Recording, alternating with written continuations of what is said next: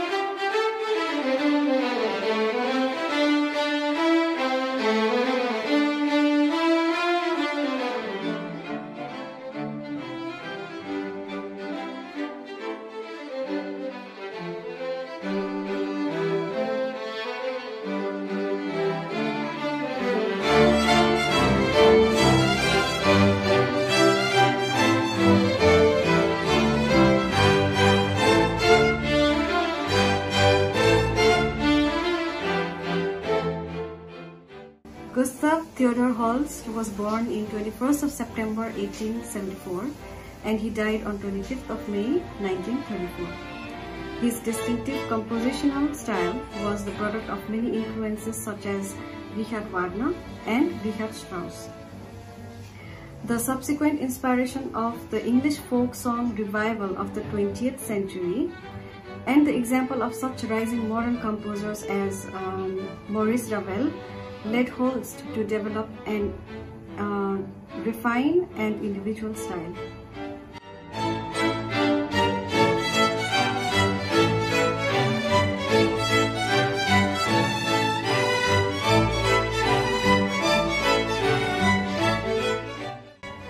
Holst came from a professional musician's family and it was clear from his early age that he would be following the same calling.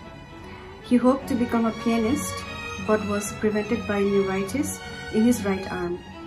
He pursued a career as a composer and studied at the Royal College of Music. He also played trombone professionally and later became a great teacher. Among other teaching activities, he built up a strong tradition of performance at Morley College, where he served as musical director from 1907 until 1924 and pioneered music education for women at St. Paul's Girls' School, where he taught from 1905 until his death in 1934. He was also the founder of Brixton Music Festivals.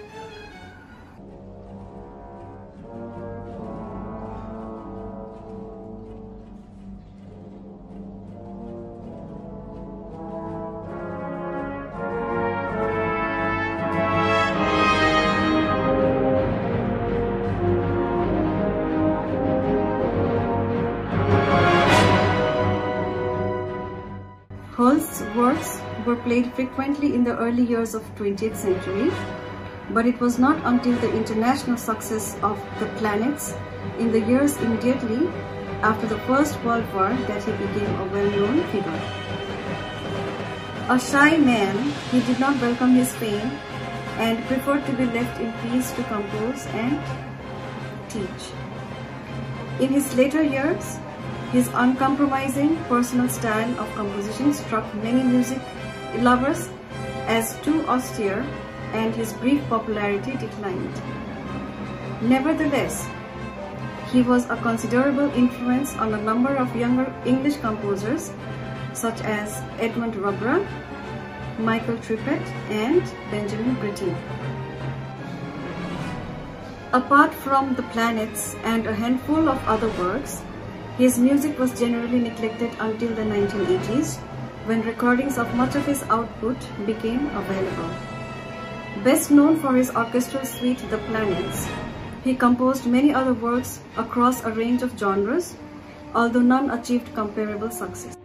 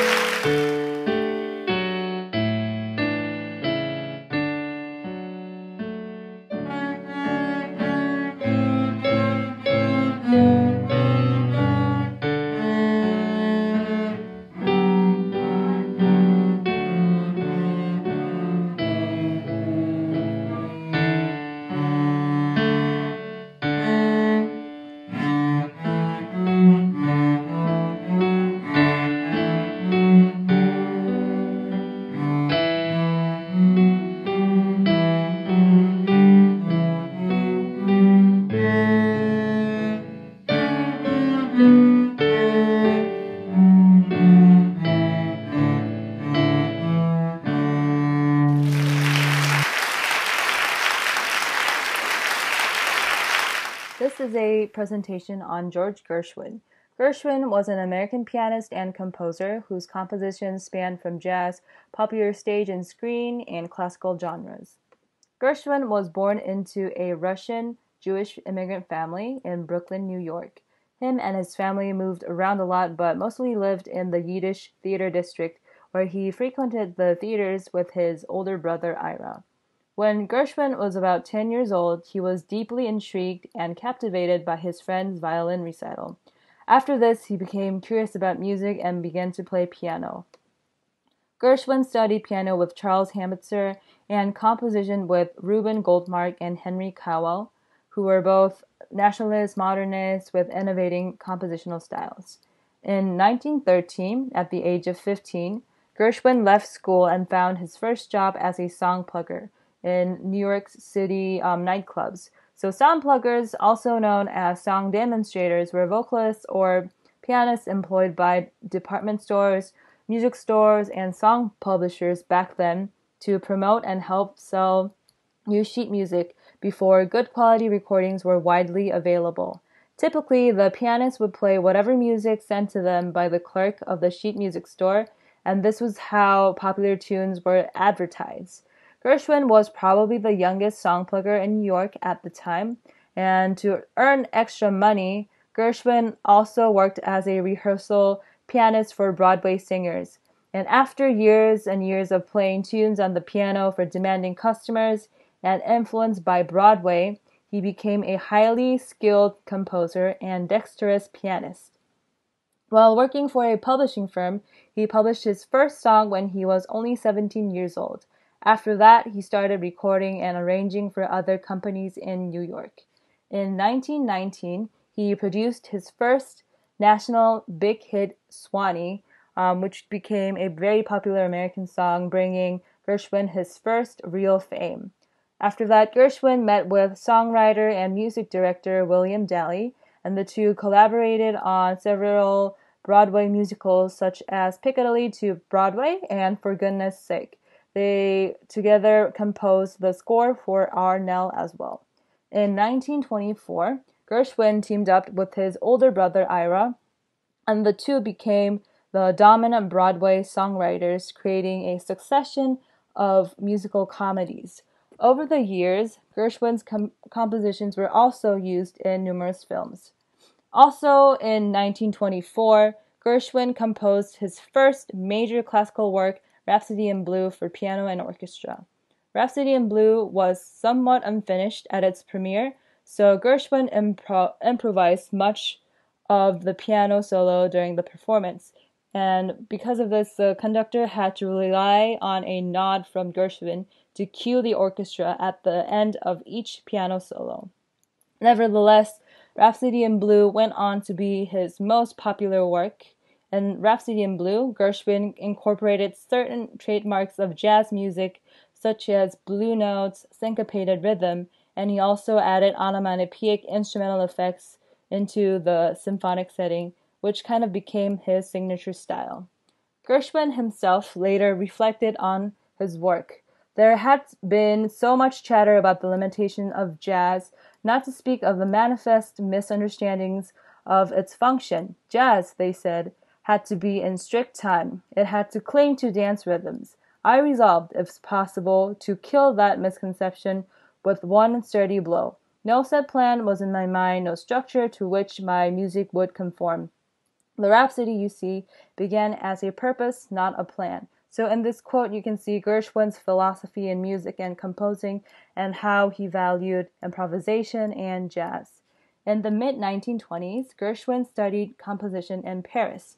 During his time in Paris, Gershwin wrote An American in Paris, subtitled A Tone Poem for Orchestra. This received mixed reviews at first, but quickly became part of the standard repertoire in Europe and the US, and inspired the 1951 American musical comedy An American in Paris. Some of his other popular works include I Got Rhythm, if You Can Get, Strike Up the Band, Summertime, and Liza. His compositions were heavily influenced by his job as a songwriter, um, song plugger, and the various cultures around him in New York during his time. In Gershwin's music, one can hear jazz, blues, and classical harmonies all blended together, and the different sonorities from the bustling streets of New York, representing the melting pot of cultures in the city and the country during his time. Unfortunately, due to an untreatable brain tumor, Gershwin died a tragic and unexpected death at the age of 38. Compared to his contemporaries such as Aaron Copland, who lived to be 90 years old and had his music published in accurate and reliable editions. Gershwin simply did not live long enough to see his works become a true musical legacy. Nevertheless, Gershwin's compositions are widely performed to this day, and his legacy lives and encourages so many to create and listen to the sounds around them. Thank you.